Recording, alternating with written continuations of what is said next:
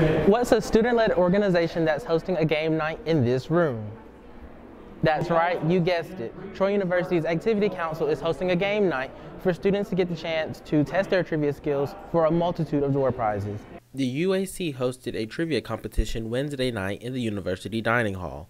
With snacks on site, participants were in groups of six to eight as their trivia skills were put to the test. The University Activity Council's Public Relations Officer, Caitlin Blackman, tells more about the UAC Trivia Night. The event was trivia night. Um, we had it in a different location um, this time. We had it upstairs in the dining hall. Thought it would be pretty cool to have it up here.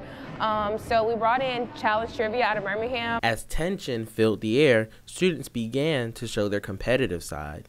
Seeing the prizes that awaits the winners may have been a very helpful motivator. We had so many prizes. I think we had like 13 prizes or whatever. We had an ice, um, ice coffee maker. Um, we had a sound bar. It was a great, it was a great event. We had free food, free drinks.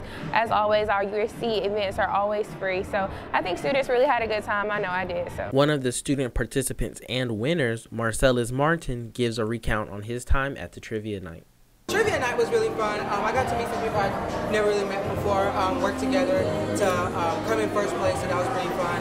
Um, being able to just come out on the middle of a school night and just, you know, kind of relax after a hard week is pretty nice. So I won a Roku. Um, it felt pretty nice to win, to be able to work again with other people that I've never met before. Now, this isn't 20 questions, but who is the best student journalist that just reported this story? That's right, you've guessed it, Kardarious Brown, Troy, TrojanVision News.